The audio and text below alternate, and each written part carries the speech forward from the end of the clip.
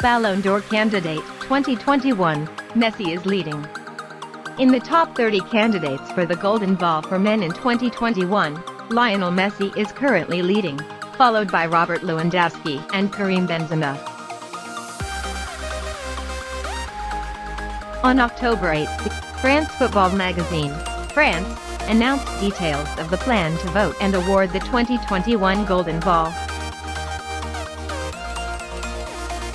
In the list of 30 candidates for the 2021 Golden Ball for men, there are many familiar names like Lionel Messi, Cristiano Ronaldo, Robert Lewandowski, Kylian Mbappe, Jorginho, or Neymar. In this list, there are also many rookies, such as Nicolo Barella, Phil Foden, Mason Mount, or Pedri.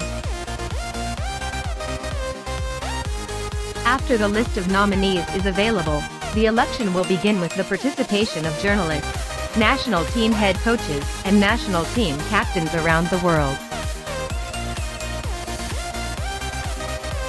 Each person will choose the best five names, according to their personal opinion. The 2021 Golden Ball Awards ceremony will be held at the Châtelet Theatre, Paris, on November 29. The shortlist of three candidates for the Golden Ball will be announced before the awarding date. Editor, journalist Truong Anh Ngoc is the only representative of Vietnam participating in the poll. Messi has the advantage of leading the race this year when he and the Argentina team lift the Copa America Cup in 2021. According to statistics, Messi has scored 38 goals in 47 appearances for Barca last season.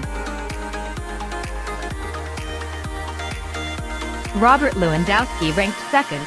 He has 46 goals in just 38 games to help Bayern lift the Bundesliga title for the ninth time in a row. Robert Lewandowski, Bayern Munich, is a strong candidate for the Ballon d'Or title 2021.